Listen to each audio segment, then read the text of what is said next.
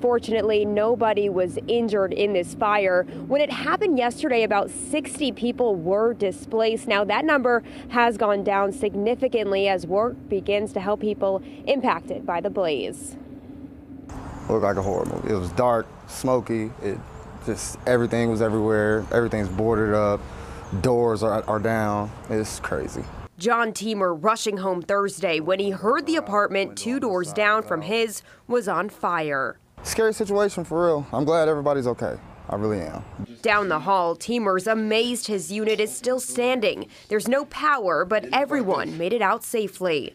This is the apartment that caught on fire. Two doors down. Marita Salkowski with the American Red Cross says there are 11 families without a home.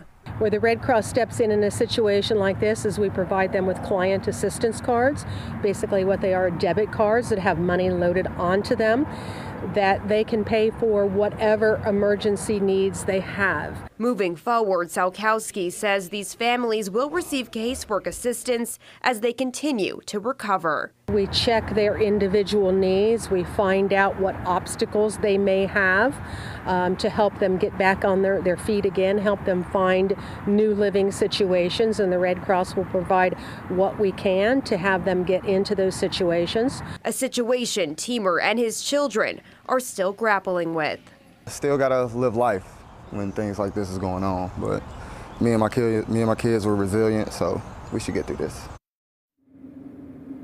You can tell he is very thankful that his daughter is okay. She was inside the apartment during the fire, but she was able to get out safely. The Newport Fire Department tells us they were able to extinguish the flames very quickly. Reporting live, Rachel Herzheimer, WLWT News.